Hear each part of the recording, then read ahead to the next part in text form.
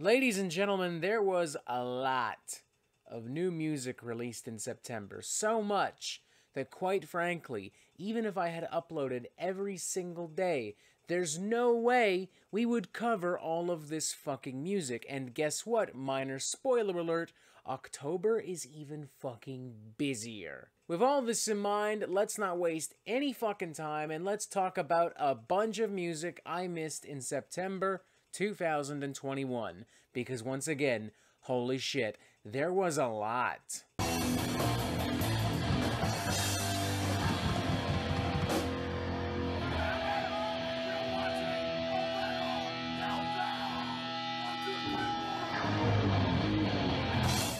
First up, we have Vile Genesis from Inferi, an album I completely forgot about, if we're being entirely honest here, but that's not really a bad thing because I don't really feel like I missed a lot here. Which isn't to say the record's bad because I don't really think it is. I think it's actually a pretty tight and well produced piece of modern tech death.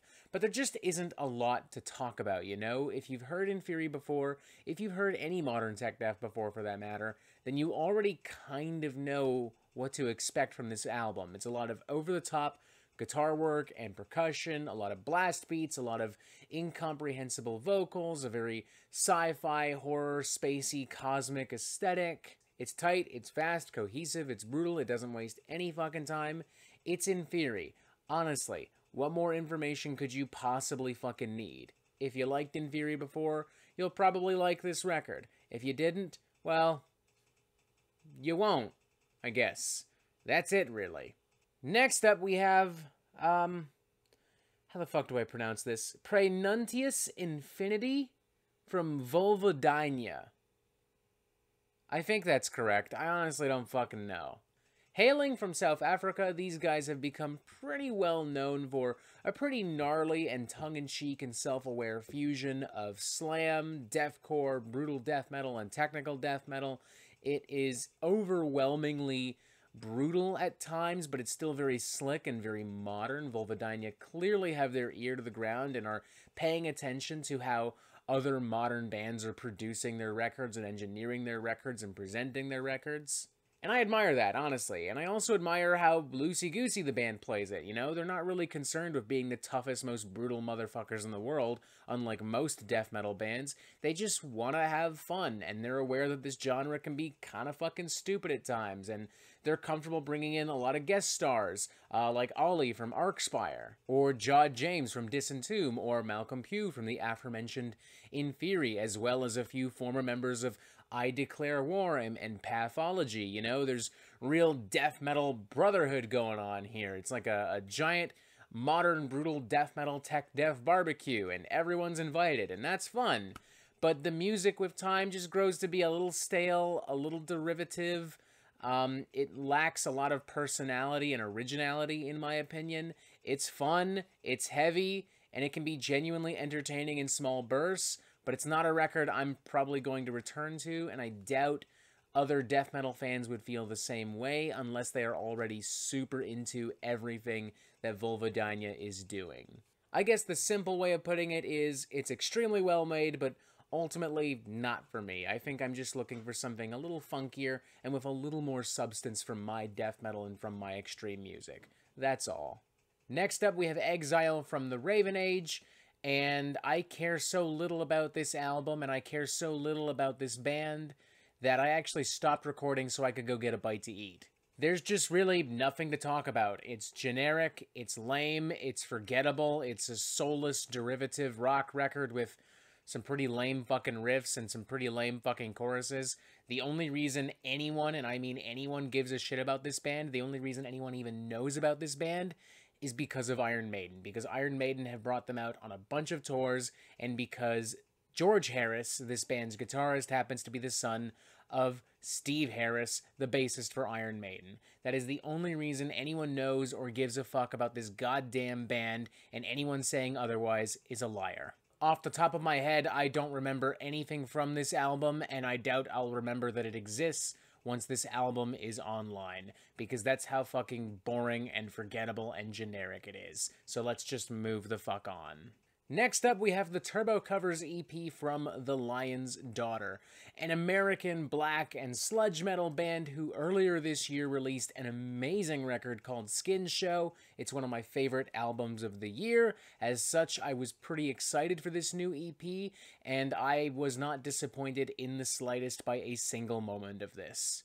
This is, in my opinion, not just another stellar piece of music from The Lion's Daughter, but it's maybe the best cover EP or album or anything that I've heard in a while. Like, finally, we have a band that's really talented and really unique and understands that you can't just literally do karaoke, that you can't literally just play the fucking original song note for note and add a fucking heavier riff finally a band that understands that it's better and smarter and more fun to actually transform the fucking songs, which is exactly what The Lion's Daughter do, and that's what makes this EP so fucking cool. For instance, the band's cover of Turbo Lover, originally from Judas Priest, is fucking fantastic. It's so weird, so dark, so creepy, genuinely kind of sexy. There are some really dark, mysterious, erotic keyboards with some pummeling percussion. It really does kind of recapture the energy of that original Judas Priest cut while transforming it into something far more sinister and sexual at the same time. I'm also really loving the covers of Burning Inside and Everyone I Went to High School With Is Dead, originally from Ministry and Mr. Bungle, respectively. This is where you see Lion's Daughter just kind of letting their freak flag fly, just going nuts with industrial riffs and keyboards and blackened, sludgy nonsense. And the Negative Creep cover, originally from Nirvana, is disturbingly heavy. They go full blown sludge metal on this, and I love it. This whole EP from start to finish is a fucking banger. Another stellar release from Lion's Daughter. The best cover album EP project of the year. The best EP of the year. Holy shit, these guys can truly do no fucking wrong at this point. Definitely check this out. Next up, we have another EP, this time from Insomnium, entitled Argent Moon, and it's it's okay. Um, it's very predictable by the standards of Insomnium. They've more or less been making the same type of album over and over again these past couple of years. But you know what? It's really well performed. It's really well produced. It's very pretty and evocative, and there are a lot of lush guitar tones and guitar solos, and it can still be kind of fierce, you know? It's still got a little bit of a backbone to it. I think Insomnium fans will be more than fucking ecstatic with this. I mean, I personally got pretty bored of this pretty quickly, but I'm going to chalk it up to a matter of personal taste because there's really nothing objectively bad or even all that unappealing about this. It's it's a perfectly fine EP if you like Insomnium. If not, I would say skip it. Next up, we have Absolvere from Signs of the Swarm. They're a relatively young, kind of modern deathcore band with some brutal death metal influences. They have been plagued by allegations and PR and social media crises on a consistent fucking basis. But despite that, they're not able to transform or weaponize any of that drama into anything all that interesting or powerful. In fact, this is a remarkably boring and generic album, in my opinion. I mean, it's not like incompetent or anything. It's overall a very well performed and produced record. There's just nothing about the songwriting that's especially memorable or engaging. It it just kind of goes by, you know? It reminds me a lot of that Slaughter to Prevail record. It's just kind of an endless blur of ham-fisted breakdowns and edgy bullshit. I don't know. Um I guess this will probably be fine for some people. I really don't care. And if it wasn't for some of the controversy and the fact that this band has become somewhat notorious, I doubt I would have paid much attention to these guys at all. So, c'est la vie. Whatever. Do with that information whatever the fuck you wish. Next up, we have At One With None from Portrait, an American old school heavy metal band. Unfortunately, this was somewhat overshadowed by Iron Maiden's Senjutsu, which Unfortunately, Portrait very foolishly released the exact same weekend. It's a shame because honestly, looking at the two records objectively, I think I prefer this. It's a very epic and somber record with some thunderous and declarative riffs. Uh, it kind of reminds me to a certain extent of what we've been hearing from Spirit Adrift as of late, maybe excluding the last EP. Um, and it also kind of reminds me of like a fusion of like some 80s metal from King Diamond, Mercyful Fate, Iced Earth, a little bit of the aforementioned Iron Maiden too, especially in regards to some of the the galloping guitars and the overall uh, size and scale of this record. Some of these songs are a bit too long for their own good, and I can't help but get the feeling that you know, everything Portrait's doing, while interesting, has just been done better by the aforementioned Spirit Adrift and perhaps uh, even by Witherfall, who very similarly borrow a lot of influence from King Diamond and Iced Earth. Uh, but nonetheless, I think this album has some pretty solid jams for anyone looking for some dark, old school heavy metal with a more epic twist and flair, and perhaps were disappointed with Senjutsu. I guess if I were to have reviewed it, it would get like a pretty enthusiastic three to five. I think it's a pretty, I think it's pretty solid. It's got some warts, but warts and all, I think it's pretty fun. So yeah, check it out. Next up, we have the Seeds of Seduction EP from Necrosexual. This is just grimy, nasty, in your face, speed metal and heavy metal fury. It's dark and twisted and horny as fuck, very self aware very tongue in cheek. Like it's just fucking fun. A big dumb sleazy blast of anthemic heavy metal riffery and mayhem. It doesn't waste any time whatsoever. It's not pretentious at all. It's kind of like a hotter, nastier take on like Gwar to a certain extent. But I'm also reminded of like some classic heavy metal and speed metal with some first wave black metal influences. Uh, I, I, love the energy that's consistently emanating out of this record. And Necrosexual himself is just a really cool figure. He was kind enough to send me an early copy of this EP, hoping I'd review it uh, in a full album review. And to be honest, I had intended to do so, but then I found out about a new Carnifex album and. Sorry, Necrosexual, but guess what? One of those was going to get more views than the other. Regardless, I'm happy I can talk about it here because this is just a really, really, really, really, really fucking fun listen. Next up, we have Chaos Vortex from Summoner's Circle, and I wish I had done a full album review for this because there's just so much to talk about. It is a very theatrical and over the top and flamboyant record with a lot of string instruments, a lot of guitar harmonies and melodies, a lot of very over the top dramatic soundscapes and choruses, very acidic vocals. It kind of feels like um, uh, modern metal's answer to a band like Cradle of Filth with some more like melodic death metal influences and, and some more prominent blackened death metal influences as well. I feel like a lot of these different elements and ideas could be blended a little bit better. It can be a little chaotic and overwhelming at times, but you know, for a young underground band, I'm kind of impressed with how well so much of this does work. And it does make me pretty excited to see what these guys could do on another studio album with a bigger budget, with more resources, and with a little bit more experience uh, behind them. Next up, we have I Have Seen the Light and It Was Repulsive from Sermon of Flames, an absolutely abhorrently disgusting kind of black and sludge metal record. It is chaotic and intense and extremely continuously, almost annoyingly brutal. It can be genuinely jarring at times. I feel like the band definitely need to step back a little bit. I feel like the songwriting itself is also pretty inconsistent, but when the stars align at certain points on this album, damn, it is interesting. Damn, it is exciting. Damn, it is immersing. It really does feel as if you are falling down a portal into fucking hell.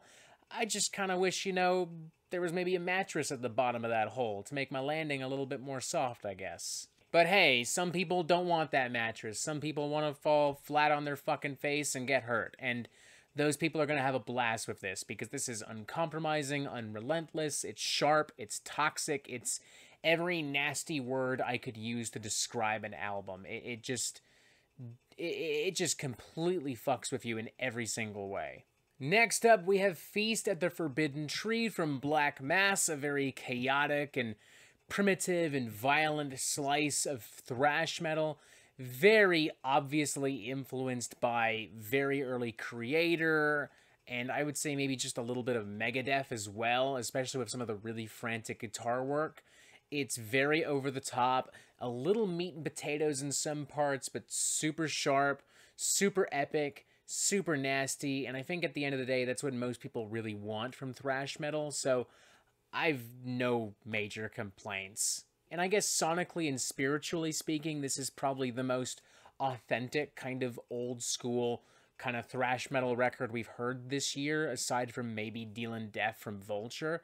So if you're super nostalgic for the glory days of thrash when everything was super underground and super extreme and bare bones and evil, then you are bound to get a fucking kick and a half out of this. Definitely check this out. Next up, we have Psychedelic Realms of Hell from Wharflurch, which immediately wins the award for coolest album cover of the year because holy shit, just fucking look at that. There is so much color, so much detail. It is a genuinely beautiful psychedelic display of what the fuckery, and I love it. Which I guess, come to think of it, is exactly how I would describe this album. It's very weird, very strange, very trippy, and very raw and primitive and nasty as well. I mean, it's just this really chaotic and spicy and and kind of ugly combination of like psychedelia and underground death metal. It's a very gnarly and and toxic record. Like it's constantly spewing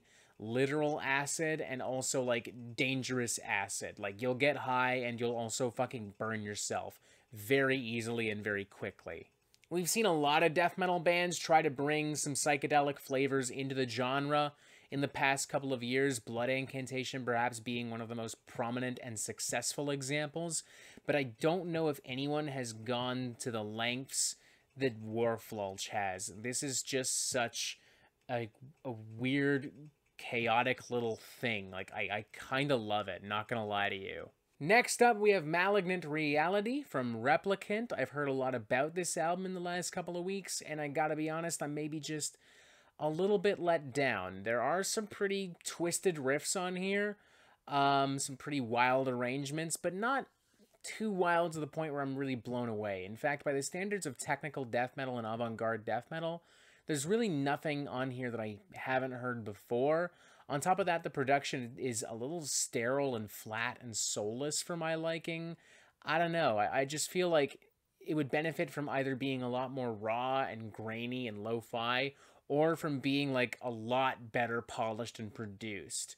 And instead, it just feels kind of flat. I don't know. Like it just has no impact. It's still pretty tight. It's still pretty brutal but it could have been way tighter and way more brutal. It really is that simple for me, at least. Still, if you're looking for some obtuse, in your face, experimental death metal carnage, I suppose you can't do wrong with this. It'll it'll satisfy you for a wee bit at least. Next up, we have Undo the Chains from Wraith. This is 32 minutes of straight to the fucking point, blackened thrash and speed metal insanity. Very much in line with Midnight and Bewitcher. Uh, a lot of bold guitar melodies, a lot of very dynamic and acidic vocals. Uh, the riffs are pretty strong. It's not an especially original record, but you know what? It, it's it's greasy, it's simple, and it's fun.